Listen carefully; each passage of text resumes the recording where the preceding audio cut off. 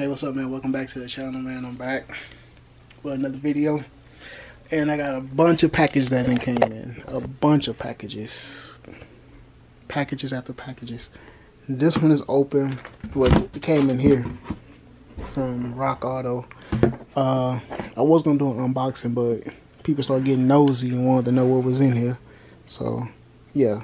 But I opened this one to see what this was. This is a engine cover gaskets that's how I was gonna do that. That's that. Uh, rotor. Remember I said I needed one rotor for that car. Matter of fact, I don't think I, I don't think in last video I don't think I explained what all needed. But if I didn't, then I'm gonna go ahead and say it right now. So once we start to try to do the brakes, I know the first video was all over the place, but I'm gonna try to get to the point now. And actually, I'm excited to go ahead and drop this video. That's why I, normally y'all know I'm be dropping videos this quick, but so we went to do the brakes on the car. I left the back brakes. I left them at home. Here they go right here. So I couldn't do them that day. All I do was the front brakes. But I didn't know that until I started taking off the back brakes. That's when I seen that the uh, caliper was bad on the back right one. So um, I figured I have to buy a caliper for that one. So I was like, okay, I gotta buy a caliper for that one. So I was like, matter of fact, since I'm, I know I can't do the back, let me just do the front. So I go to the front. Looks like the front one is kind of beat up and busted. So I'm like, the car is from 86. I don't know when last time they changed them, um, the uh, brakes and all that, the rotors and all that. But I felt the rotors. The rotors was cool. Except for one. One was all bad, which is actually in my car right now. I need to, probably gonna send it back so I can get a core. Get a little of my money back or whatever. I don't know if they do the core. I have to look into it. But they do do core on like the calipers for sure. So I bought the rotor. I know I needed that. I go on. Also, I see that the one brake pad isn't bad. Only the back one is kind of bad for some, and then the other ones, the two front ones, the brake pads don't like they bad at all. So I'm like, oh, have these brakes been working? Because I noticed whenever you try to stop the car, it's like it don't want to stop. Even when we put it in neutral and rolled it back, it's like damn car didn't want to stop. It just wanted to keep rolling. So I come to the conclusion that maybe only one caliper was working on that car. Luckily, I didn't take it nowhere far. So uh, I bought, decided, let me go and just buy all four new calipers. So it's hard to come up on the back calipers. Front calipers are easy to find. As you see right here. Those are the front calipers. Back ones were more expensive as well. So the back calipers were maybe like I can't remember. Back ones like probably like 100 and some each. Front ones were like maybe 30, 40, something like that each. So I ordered the back ones from CARiD. I don't know when they shipped them. They haven't shipped them yet. Everything else is here. Pretty much I got one more package coming from Rock Audio. This is I'm not sponsored by no Rock Audio, nothing like Rock Auto. But if you do need anything for your car, if you're working on an old car, I don't know about newer cars because I haven't looked for my other car, but for these old cars, Rock Auto has everything pretty much, literally everything. So I got this from Rock Auto, which is the gaskets, like I told you. I got front, back, two front, two front, and I'm supposed to order, supposed to be another back rear, but I got my two front back.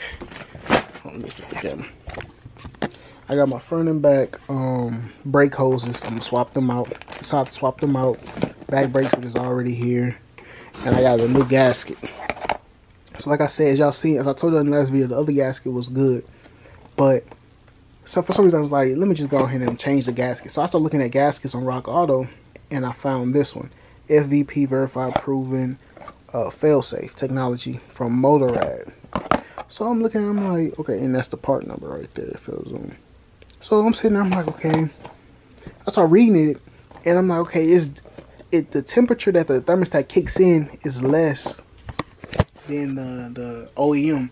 OEM, I think it's maybe like 180, 190 something, 195. This thermostat kicks in at 160.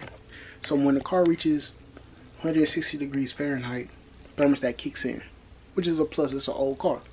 So then I start looking more into it. It has the fail-safe technology on it. which means whenever it does fail or if it do fail, it gets you know most thermostats whenever they break or die or whatever you want to call it, they close so they don't open up, which keeps the water from flowing to the engine and things of that nature. This type of thermostat, when it fails or when it dies, breaks, however you want to call it, it stays in an open position, so water constantly flows. So I'm like, okay, cool. So I bought it, like eight bucks. This is more the premium one. Like eight bucks, ten bucks, something like that. And I also know with Rock Audio, I keep saying audio, Rock Auto, prices are actually cheaper than AutoZone. So if you looking for cheap car parts, um, shipping was like maybe 40 bucks, 50 bucks for all shipping of all the items I got, which isn't bad because I bought, as you see, a lot of stuff. And this is not all of us. Think got one more package coming, which should be Sunday from Rock Auto. The other package should be CARiD. But like I said, I got my rotor right here. Got a new rotor. This right here was more of like the premium rotor as well. I didn't go with like the the high performance, whatever, because I'm not racing and all that. But um, I was thinking about maybe I should have changed it because uh, them swingers, but uh, I don't know. That should be cool. I ain't doing no no heavy, heavy racing like that. swing as long as hell and big as hell, but so this box heavy as hell. So I'm gonna have to stop it and pick it up. But before I get to that, I also had another package coming today. Gorilla Mode uh, pre-workout. Uh, good ass stuff. Good, good, good. Y'all see my clothes back to my work shirt. Oh, it also don't mind uh, the wrinkled white tee. I had it up underneath the uh, the work polo. It was Friday. You don't have to dress up at work. You can wear your work polo or whatever. So I did that. But the Gorilla Mode, any y'all that go to the gym need some pre-workout. I needed some more because at work I get off at 4:30. I'm working like you know nine to five, whatever. So once I got once I get off, I'll be tired as. I'm trying to go to the gym. And the pre-workout I had, which I had this one, but I had different flavor. I was out, so I wasn't taking it. So I went. I haven't been going to the gym as frequent as I was before I started this job. This new job, I was working. I mean, I was going to the gym six days a week. Now I'm only going like maybe one day a week. But I got my gorilla mode, so it's about to change. We're getting back at it on Sunday. So, and I'm also about to get a haircut right now. And Jock, I know you're watching this video. You my boy, but I'm gonna need you to uh, stop cutting my beard. You making my beard shorter. We trying to grow it up, get it back high. So yeah. But let me take out these calipers and I gotta show y'all that. Alright, so this caliper heavy as hell, y'all. I'm holding this shit with my left hand, so yeah. But yeah, it's a re uh, remanufactured caliper. You know, it ain't brand new, of course. But see the uh, piston and everything is back in there. Uh, this shit heavy, but yeah.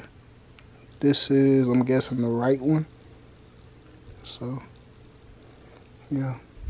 Put this shit back in here. As y'all see, same old, same old, just the opposite side. So these are the two front calipers.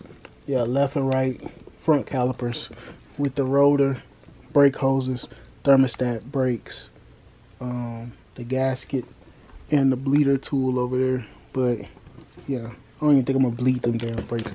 I need to really return and get my damn money back for this damn bleeder tool. Whoa, don't fall. Whoa. Yeah. I need to go ahead and return this shit, get my damn money back. I might just keep it for future reference. But yeah, man, this is the video, man. Just a little quick little video showing y'all the parts. I'm still waiting on the other hoses. I'm gonna be honest with y'all. I don't even remember everything that I fucking bought. Oh, okay. So this is the paperwork. So the only two things that I'm missing, I'm missing one of the hoses because that's three hoses. I need one more hose, and I'm missing the stabilizer bar link bushings stabilizer bar end link slash bushing. Those two. I got tools for the two front. Those and the two back calipers. And like I said, the hole. So that's all I'm missing. I ain't gonna show this paper. Got my address and everything on here. But after that, then I should be good. So I just want to upload this video, man. Like I said, I'm excited, man. Uh, Anthony, get your hands dirty he knows this inside joke. Get your hands dirty, man. You already know. Get your hands dirty. So, yeah. Thank y'all for tuning in, man. I'll go ahead and uh, stop this video, go get my hair cut. And I don't know if I'm going to put this on, at least start working on this weekend, or I may wait. Cause honestly, I might pay somebody to do this. I'm gonna be honest. I might pay somebody to do this. So we'll see though. Thank y'all for tuning in. Make sure y'all subscribe and like. Stay tuned as y'all go with me on this build of this 86 Wineberry. I'm going Wineberry. Wineberry candy over gold. So y'all stay tuned, man.